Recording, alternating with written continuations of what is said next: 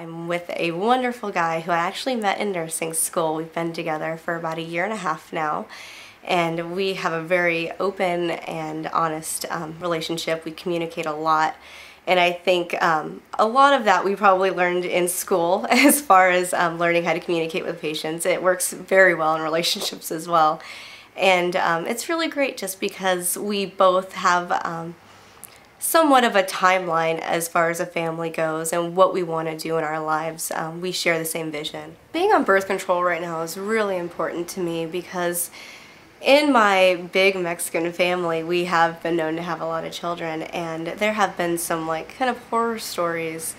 Whereas um, my uncle, when he was 14, he had his first child, and then that daughter who grew up when she was 14, she had she grew up and you know she had her first child at 14 also. I have unfortunately messed up in not taking my pill on time and it did result in a pregnancy scare, which was only a scare and it actually wasn't an actual pregnancy, but it was enough to make me realize that I needed to fix the system that I had to make sure that I was taking my pill every day.